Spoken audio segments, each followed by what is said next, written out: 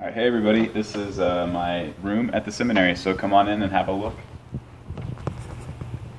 This is a typical room at St. Meinrad Seminary. Um, basically, uh, we all have our own room here and our own bathroom.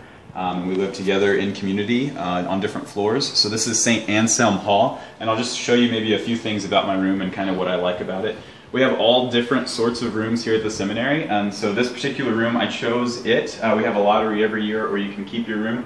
Um, I chose this room because it's really long and deep. I like space to be able to kind of like maybe lay down on the floor or do something like that. Um, and we have these big windows in the back, and I love the windows because this faces the east, so when the sun rises, we're in rural, rural southern Indiana, so you have just beautiful countryside and then like beautiful sunrises in the morning um, and a really nice morning sun.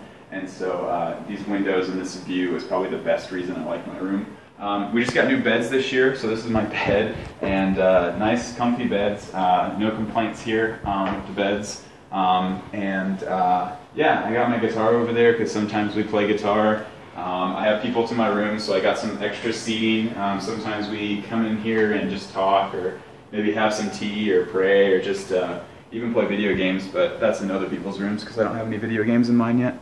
And got a little bathroom in here. Um, not too much. I, it's not too much of a mess right now, but uh, yeah, got a little shower. These are the smallest showers in, the, in all the different uh, corridors, but uh, it still works. And you can get clean, and so a little closet space. And we have extra storage and stuff too, because a lot of people have a lot of stuff. So um, typically I have like sheets that hang down um, in front of this stuff. But I couldn't find my curtain rod, so I'm still waiting to do that. But it just kind of cleans it up and looks a little more uh, um, discreet that way. But anyways, uh, yeah, welcome to my room, uh, and uh, that's uh, that's about it.